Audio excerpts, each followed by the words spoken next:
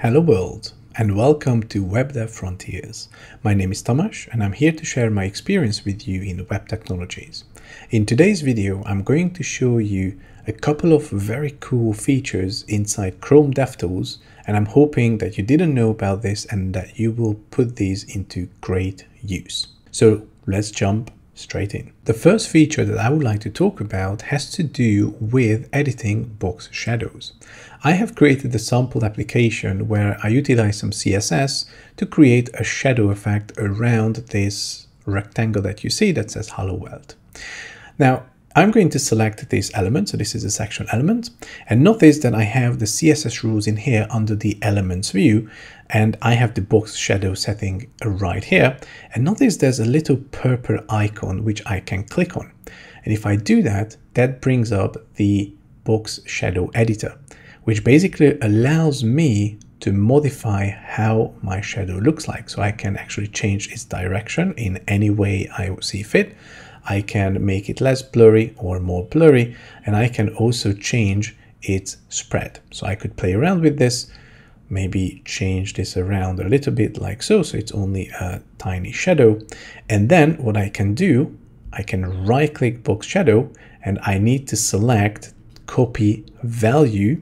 And so when I do that, I go back to my editor, find the CSS rule and just replace this with whatever I have copied and now I'm going to be using those settings straight from DevTools. This is really, really handy for making little tweaks live, especially for box shadows. Next up, I would like to talk about the badges. If you notice, next to the body, I have a badge here called Flex, and I can actually click on that, which basically will allow me to view how the Flex layout looks like on the site. Also notice that for the display property under the Styles tab here on the bottom, I also see Flex, and I also can click on this little icon, which will bring up additional rules about the flexbox layout and I can very easily change this. So I could change the direction, I can reverse it. Obviously I don't have columns at the moment, no rows, but I could, you know, specify how it should be placed. I can put it to the left, put it to the right, I can align things, I can put them on top, so on and so forth. So again, this allows me to play with my layout live. Furthermore, I can also utilize this for the grid layout. So let's just go back to my CSS file in here and make sure that I enable a grid layout. Go back to the browser, refresh this page, and notice now I get the grid label. And again, I'm getting grid specific overlay information in the browser. And I can also click this, and now I get the content in this pop-up box that is related to changing the grid layout, justifying the content, aligning the items, so on and so forth. So I can basically place these items all around.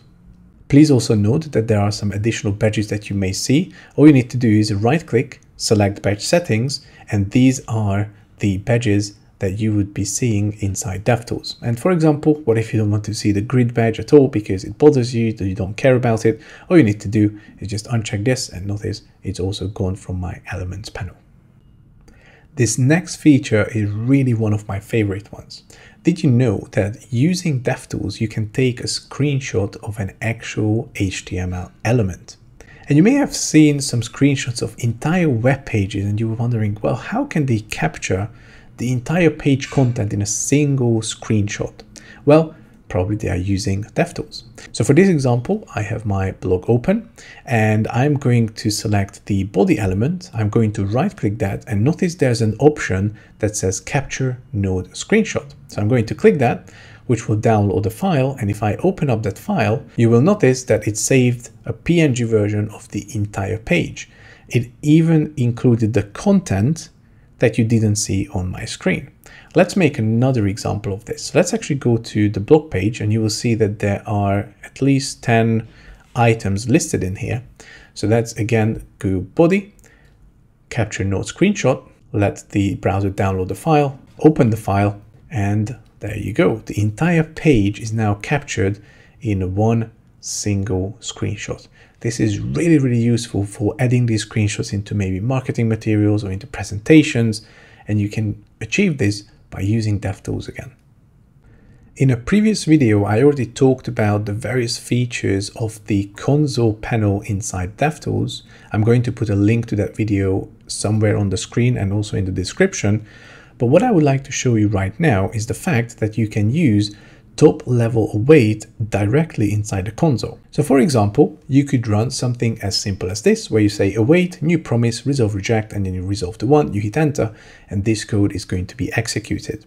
But of course, it's going to be a lot more useful for situations when you would like to test maybe a fetch API request to a particular REST API or any other endpoint that you have in mind. So for example, you could run a code like this. And again, notice there's no async function anywhere in here. You can use top level await directly inside your console. So if we run this, then this is going to actually go out to this endpoint and we get the data back straight in our console and we can now debug this or we can do whatever we want with the data returned. The next DevTools feature that I would like to show you has to do with CSS rules. So first and foremost, notice I've added a paragraph in here that comes up in red, but inside my CSS file, there are actually four CSS rules that would specify the color of that paragraph. So I'm setting it to blue, to red, to green, and to purple but the red one won. So let's see if we can figure out why that is. Let's go ahead and select the paragraph itself. And notice by default, you will see some of these CSS rules to be crossed out. If you see that they are crossed out, it means that the CSS rule is not being applied to the element. So from this, I can see that it is the color red that is being applied. So DevTools tells you which CSS rules actually apply to your element. Furthermore, if I select the div class here, sometimes you would also see particular CSS rules not to be crossed out, but to be faded. And every now and then you will see a little eye icon in here, which you can hover your mouse over, and that's going to give you an explanation as to why this particular CSS rule is not applied. Usually this is due to a conflict. So in this case, we have the message that says the display block property prevents align items from having an effect. So essentially, because I'm using a display block, I cannot use the align items on my body. So this is again very, very useful. But going back to that paragraph, there's one more thing which I think has been asked a million times by developers all over the web. And that is how can we display the specificity rules in CSS inside the browser, in particular inside DevTools. And believe it or not, there is a way, it's just a little bit tricky to get to. So if you want to know the specificity of a particular element, all you need to do is hover your mouse over the actual class or the definition, and that's going to bring up a little tooltip with the actual specificity rules. Okay, so if I hover my mouse over this, there's another specificity. If I hover my mouse over this, there's another specificity. Now, if you're not familiar with specificity rules, I try to summarize this up for you in a very simple way. If you have CSS rules that would apply to the same element and you have these CSS rules defined in various places, there's a little game that the CSS engine and the browsers play to figure out which rule is going to be the final one and therefore going to be applied to the element. And so think about it this way. If you have an ID selector, like the one that I have here, that will have the highest specificity score. The second one is going to be the class and the pseudo class selector, which will have some reduced amount of points in terms of this specificity game played by the browser.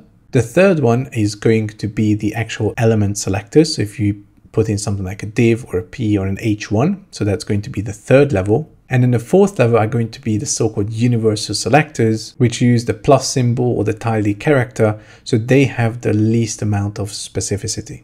Maybe another analogy would be if you think about dressing up a doll. So you're the owner of the door, you have your close friends, and then you have some random acquaintances to give you ideas on how to dress up the door. So you as the owner specify that the door's clothes should be red. Your close friends are going to say it should be yellow, and then your acquaintances are going to say it's going to be blue.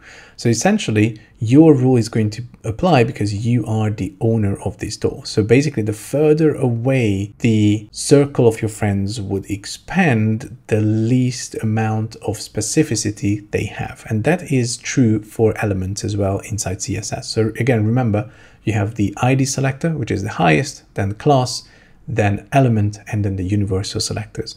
But anyway, if you would like to know what the final specificity rule is for a particular element, remember inside DevTools, all you need to do is hover your mouse over the actual selector, leave your mouse there for a couple of seconds, and that will bring up a tooltip which will actually tell you the exact specificity. Last but not least, I would like to show you how to display a tree map of your website. Now, what is a tree map? A tree map is basically going to tell you the size of the various bundles that make up your entire site. So if you use a tool such as Source Map Explorer before or Bundler Analyzer, you would have seen a result very similar to this. But the question is, how do you bring that up using DevTools? Can you actually do that? Well, again, it's a little bit hidden, but you can do that by all means. So all you need to do is select Lighthouse and make sure that you run a Lighthouse report. It doesn't matter which one you run, whether you run it mobile or desktop, just make sure that the performance category is actually checked. Okay, so I'm just going to click on Analyze Page Load and wait for this Lighthouse report to run. Once it runs, scroll down in the report and then notice there's a button in here that says View Tree Map. So click on that and that's going to give you a view of your website. So I can see that my website requested 400.1, sorry, 401.7 kilobytes, and then Google Tag Manager is 57% of that. And notice the rest is Chrome extensions, which brings up a very interesting point. Why would I care about Chrome extensions? Now, I plan on recording videos about web performance and I do a lot of web performance consulting and I do a lot of talks and other material on web performance. My recommendation is for anyone wishing to get a plain view of their site without any extension data, you know, whether you're performance reports, you want to exclude anything that has to do with extensions or anything else, my recommendation would be is to create a profile which you can call a clean profile. So essentially I have that as well. And this clean profile is basically going to have zero extensions.